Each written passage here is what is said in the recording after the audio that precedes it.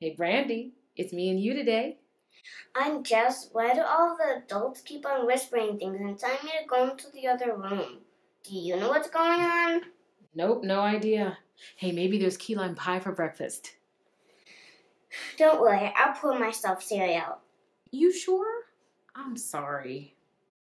How did the baby get there? Uh, yeah, I got no idea on that either. Anyway, I'm gonna put my feet up even though I need to stuff like 300 real estate flyers into envelopes. I can stuff envelopes. What? I help my mom with her work things all the time. You do? Well, I'd love you to help. I mean, this is, you know what? This is good to know. And here I've been nervous about having a kid. My mom says that you and Uncle Will are always nervous and uptight. She was surprised you even got pregnant. Okay. That's just great.